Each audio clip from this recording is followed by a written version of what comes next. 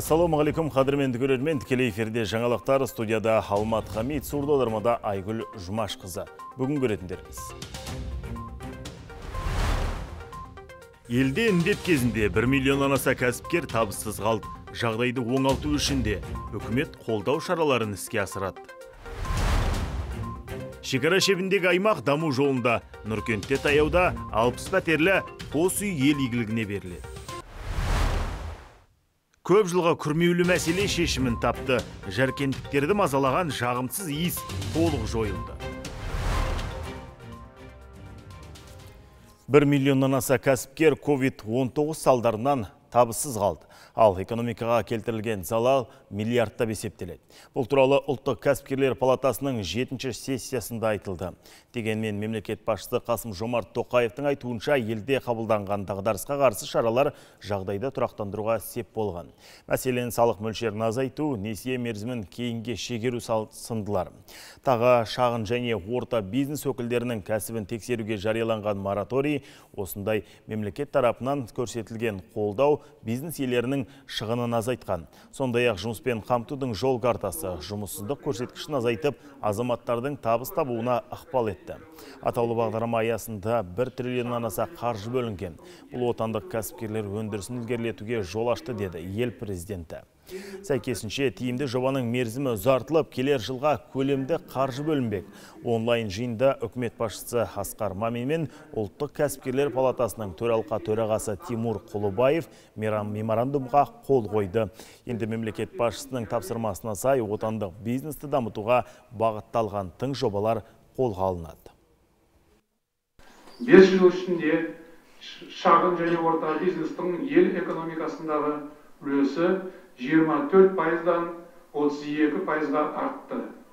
Кәсіпкерлік саласында еңбек ететін азаматтардың саны 21 пайызға, яғни 2 бүтін оннан 8 миллионнан 3 бүтін оннан 4 миллионға дейін өсті. Қазір жұмыспен қамтылғандардың 40 пайызға жуығы шағын және орта бизнесте еңбек етеді. Бұған мемлекет пен бизнесті байланыстырып отырған ұлттық палатының сіңірген еңбегі мол. Нұркентте таяуда 120 тұрғын қоныс тойын тойлайды. Палфинов ауданына қарасты қалашықта қазір 60 пәтерлі қос үйдің құрылысы жүріп жатыр. Жоба нұрлы жер бағдарламасымен қолға алынған. Мақсат аймақ дамуы мен тұрғындардың жайлы тұрмысы үшін. Нұркентке кіретін мына екі үйді техносынап 2002 жауапкершілігі шектеулі серіктестігі салып жатыр. Бас мердігер ен даладағы үй шілденің ортасында бастапты. Келісім шартқа сай нысан қыркүйекте өткізілуі керектін. Әлемдік пандемия іркілтіп қойған. Десе де жауаптылар аз күнде бітіп үлгереміз деп отыр. Қазірге жұмыстың 90 пайызға бітіп, әктеу сырлау шаруалар қалған. Бұл жерде жаңағы балаларға арналған ойын алаңдары бәрі қарастырылған. Э, қазіргі таң қазіргі күнде ә, нысанда 75 адам жұмыс істеп жатыр. Ә, 60 адам жаңа ішкі жұмыстарына және қалған сыртқы жұмыстарына істеліп жатыр. Бес қабатты қос үйді салуға 1 миллиард 32 миллион теңге бөлінген. Қаржы республика және жергілікті бюджеттен. Жобасы да бірдей. 44 шаршы метрлік бір және 73 шаршы метрлік екі бөлмелі пәтерден тұрады. Таяуда тап осы нысанның жоғары жағынан тағы екі 60 пәтерлік үй салынады. Ол да ауданның тұрғын үй кезегінде тұрған әлеуметтік аз қамтылған көпбалалы отбасы мүгедек жетім және мемлекеттік қызметкерлерге берілмек. Осындай бізде екі үй салыну керек болған. Жаңағы котлованның астынан туцм кабелі шығуына байланысты біз бөлек проект жасап туцм кабелін котлованнан кері қарай кері қарай айналдырамыз да құрылыстың жұмыстарын ары қарай жалғастырамыз. Біздің енді болжаммен алтыншы ноябрьдан ары қарай сол үйдің жұмысы басталады. Нұркентте келесі жылы 80 пәтерлік тағы екі үй салынады. Жобалық сметалық құжаттары жыл соңында әзірленбек. Жалпы Қазақ-Қытай шекарасындағы аумақты дамыту 2013 жылы қолға алынған. Алғашқыда мұнда елу түтін ғана болыпты. Қазір халқы 3 мыңнан асады. Енді 10 жылдан соң саны елу мыңға жетеді деген жоспар бар. Мұнда негізінен темір жол, кеден, еркін экономикалық аймақта жұмыс істейтін мамандар тұрақтаған. Қаланың жалпы ауданы 1460 гектар. Бас жоспарға сай мұнда 600 балаға арналған мектеп, 240 орындық балабақша тұрғызылған әлеуметтік нысандар қатары әлі де толықпақ жазира исаева ержан дүйсен жетісу телеарнасы Облыстың ішкі жолдарына жұмыспен қамту жол картасы аясында орта және күрделі жөндеу жұмыстарын жүргізу жалғасып жатыр. Мәселен, Текелде 13 көше жасалуда. Ұзындығы 6 шақырымнан асатын тас жолға асфальт төселіп қолданысқа берілген. Мынау Текелі қаласының достық шағын ауданы көше жолдары тозып, топырағы шығып жататын. Жарты ғасырға жуық жөнделмепті. Биыл жұмыспен қамту жол картасы аясында алты көшесі толық жөнделді. Жауапты мердігер Нұршапағат құрылыс компаниясы серіктестік көктемде жөндеу жұмыстарын бастаған. Жұмыстарын тиянақты атқарыпты. Көше тұрғындарының есік алдына дейін асфальт төсеп, арық жүйесінде жаңартқан. Жалпы мемлекеттік жоба бойынша моноқаланың 15 шақырым ішкі жолын жөндеу жоспарланған. Ол үшін 1 миллиард теңгеден аса қаражат бөлінген. 32 адам бағдарлама аясында жұмыспен қамтылыпты. Келер жылға да жоспарлар аз емес. Келесі ә, жылға жоспарларымыз 34 көшесіне орташа жөндеу жұмыстарын ә, жоспарлап отырмыз. И алты көшеге бұдан басқа тағы да бір жобамыз бар күрделі жөндеу бойынша. Ол жерде алты көше қарастырылған ә, күрделі жөндеуге. Барлығы енді құдай қаласа қырықтан астам көшеге жұмыстар жөндеу жұмыстарын жүргіземіз деп жоспарлап отырмыз енді. Сонымен қатар көксу ауданында бас аяғы 47 көше ағымды және күрделі жөндеуден өтті. Одан бөлек тағы оннан аса көше орташа жөндеуді қажет етеді. Таяуда ол да өз шешімін табады. Қазір жөндеу жұмыстары қауырт. Жауаптылардың айтуынша ауданда алпыстан аса жергілікті тұрғын жұмыспен қамтылған. Ауданның ішкі жолдарын жөндеуге жұмыспен қамту жол картасы бағдарламасы аясында бір миллиард қырық екі миллион теңге бөлінді. Бұның ішінде елу сегіз көшеге орташа жөндеу жұмыстары жүргізілді. Қазіргі уақытта 11 көшеге орташа жөндеу жұмыстары жүргізіліп жатыр. Осы қараша айының аяғына дейін бітуі жоспарланған. Ауыл жастары үшін тағы бір қуанышты жаңалық. Енді жамбылдықтардың заманауи футбол алаңы бар. Мұнда мектеп оқушыларынан бөлек ауыл жастары да футбол ойнап жаттыға алады. Стадионның бір артықша түнгі жарықтандыру шамдары орнатылған. Түнде де түнгі кезде де балалар ойнауына мүмкіншілігі бар жастардың атынан облыс басшылығына осындай ауыл жерлерге көркейтуге ақша бөліп отырғандарына үлкен алғысымызды айтамыз Айта кетейік, өңірлердің қайта жаңаруына жұмыспен қамту жол картасы мен 105 миллиард теңге бөлінген. Қарастырылған соммаға 1051 нысан жөндеуден өтеді. Рахат Рахымжанов, Абылай Құттықбай, Жетісу арнасы.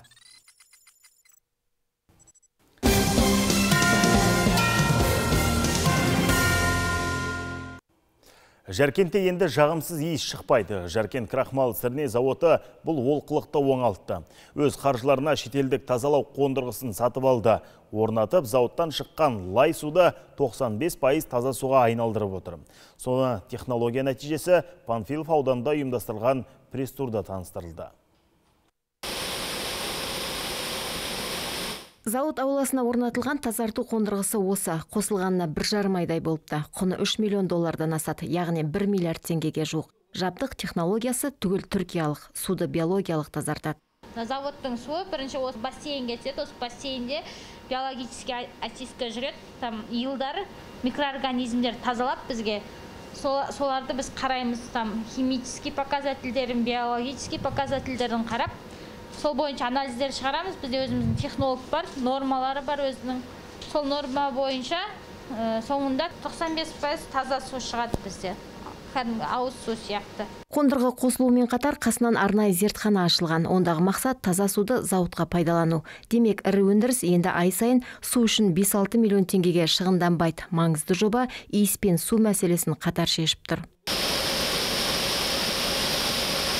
Жалпы жаркенттегі жағымсыз иіс көп жыл болды. Күн жылы қолқаны қабып қар түскенше тұрғындар тұншыға жаздайтын. Көпті шулатқан бұл иіс қайдан шықты дерсіз? Жаркент крахмал сірне зауытынан аққан лай судың сарқындысы. Тазартуға елуінші жылы салынған ескі кешеннің күші де мүмкіндігі де жетпейді. Сөзге кептеліп борсып тұрады. Олқылықты оңалтуға аймақтағы аталмыш зауыт қана емес жергілікті билік те кірісіпті. Очистной сооруженияларымыз бар. Біз оларды мына дорожный карта занятости бар ғой. Сонымен ақша алып 800 миллион теңге облыс әкімі бізге берді республикадан ақша түсті. Біз соны қазір очистной сооружение қаланың сыртына алып кетіп жатырмыз 13 шақырым жерге. Почему? Потому что мына қаланың жанындағы уже әбден біткен ескі уже тазаламайды ештеңкені содан жаман иіс шығады. Уже салып жатырмыз. Осы ноябрь айында бітеді. Жаңа 73 чек болады. Жаркенттіктер үшін бұл жағымды жаңалық. Ал ескісін қайтпек. Жақында міне сессияда бізге 95 миллион теңге біздің расчетымыз бойынша берді. Ол мына ескі очистной сооружениені біз рекультивация жасауымыз керек. Оны жабуымыз керек. Әйтпесе иіс пайда бола береді. Бұл үлкен жұмыс. Бұл жаркенттің нағыз бірінші мәселесі ең қиыны осы. Игі бастаманың іске асары анық ал басты проблеманы бірінші болып шешкен зауыт жұмысы іркіліссіз. Бүгінге дейін 75 мың тонна жүгері қабылдапты. Жыл соңына дейін 120 мың тоннаға жеткізуді көздейді. Дала алтыны негізінен панфилов қана емес еңбекшіқазақ ұйғыр ауданынан жеткізіледі. Әр келісінің орташа бағасы 75-78 теңге аралығында. На сегодняшний день. Бүгінгі күні біздің зауыт шикізат сатып алуды бастап кетті. Негізгі шикізат крахмал өнімдерін шығаратын жүгері. Біздің зауыт 26 түрлі крахмал сірне өнімдерін дайындайды. Тұтынушыларымыз рахат кондитерлік фабрикасы мен сыра зауыттары. Өнімнің 60 пайызы қазақстан нарығына 40 пайызы экспортқа. Өзбекстан тәжікстан қырғыз ресейге жөнелтіледі.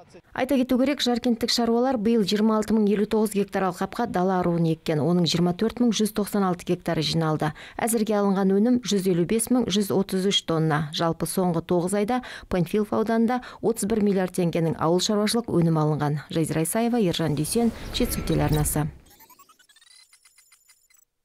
Үні билікке жетті. Қаратал ауданының тұрғындары орташа деңгейде жөндеу жүргізіліп жатқан көше жолдары сапасы салынған деп шағымдануда.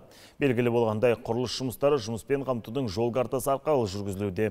Тұрғындар өтінішіне орай Қазақстан Республикасы сыбайлас жемқорлыққа қарсы іс-қимыл агенттігінің облыс бойынша департаменті арнайы тексеріс жүргізді.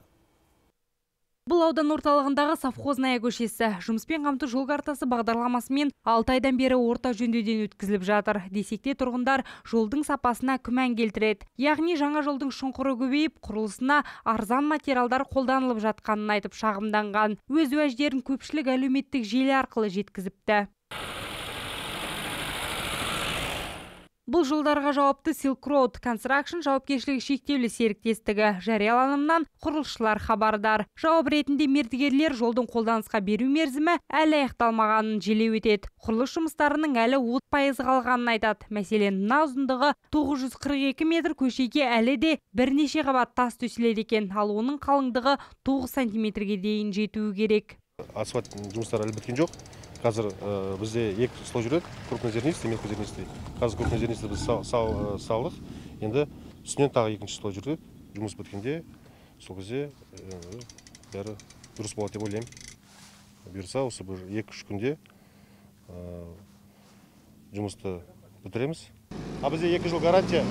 Сол себептен біз жолды сапасын жақсы жасауға соған өзіміз өзіміз үшін тырысамыз да. Биыл енді кішкене біз ғана емес бүкіл подрядчиктер қазақстан бойынша асфальтпен қиналып жатыр. Себебі битум материал дефицит болып жатыр. Сол себептен материалдар қатты қымбаттап кетті. Бұл компания аудандағы 16 көшенің орташа деңгейде жөнделуіне жауапты. Олардың 8-і бүгінде аяқталып, тұрғындар игілігіне берілген. Компания бұл шараларға мемлекеттен 415 миллионнан аса қаржы алған. Айта кетейік, биыл Қараталда жұмыспен қамту жол картасы бағдарламасымен 28 нысанға жөндеу жұмыстары жүргізілуде. Аясында барлығы 8 ауылдық округтың жолы жаңғыртылады. Қазіргі кезде 28 объектінің 16 объектісі асфальт төсеу жаңағы тротуар бес тротуар оның ішінде. Жалпы асфальт төсеу жұмыстары аяқталды. Нәтижесіне сапасына кемшіліктер болып жатады. Енді ауыл енді ауыл қала қала ауыл тұрғындары өздерінде де көшелер дұрыс болсын деп ойлайды ғой подрядчиктерге. Міндетті түрде сол ескертулерін айтып көрсетіп қайтадан орнына жүргізу үшін түсіндіру жұмыстарын жүргіземіз. Жол қазақстан республикасы сыбайлас жемқорлыққа қарсы іс қимыл агенттігінің облыс бойынша департаментінің жіті бақылауына алынды. Сапасы мекемеге қарасты жылжымалы зертханада тексеріледі. Асфальтты арнайы аппаратпен ойып экспертизалық сараптама жүргізіледі. Яғни материалдың құрамы анықталып жолдың ені мен көлемі өлшенеді. Қорытындысы үш күнде шығады. Мердігер компаниялар осы наразылық білдірген кемшіліктерді бір қатарын жойып сон сондай жұмыстар атқарып жатыр. Әлі де жұмыстары жасалуда. Жол лабораториясының асфальт үлгілері алынып жатыр. Қазір жалпы көлемін бәрін өлшеп сәйкестерін асфальттың құрамы бойынша енді тек қана лабораторияның несі айтады бізге нәтижесі айтады қорытындысы. Қорытындысының нәтижесіне байланысты қылмыстық шараға дейін қолдану мүмкін. Айта кетейік жыл басынан департамент тарапынан жүзден аса рейд жүргізілген. Нәтижесінде 117 бұзушылық анықталыпты. Кемшіліктерді қалыпқа келтіру бойынша мердігер мекемелерге ескерту жасалып сапасы жолдарды жөндеуге тапсырмалар берілген. Амина құдайберген абылай құттықбай жетісу арнасы қаратау ауданынан.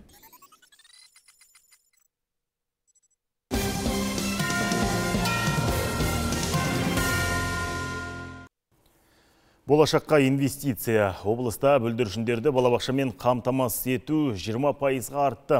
Бұл өңір басшылығы қабылдаған дұрыс шешім нәтижесі. Қысқа мерзім ішінде жетісу аймағы мемлекет басшысы Қасым Жомарт Тоқаев көтерген осы мәселеде көш басшыға айналып отыр.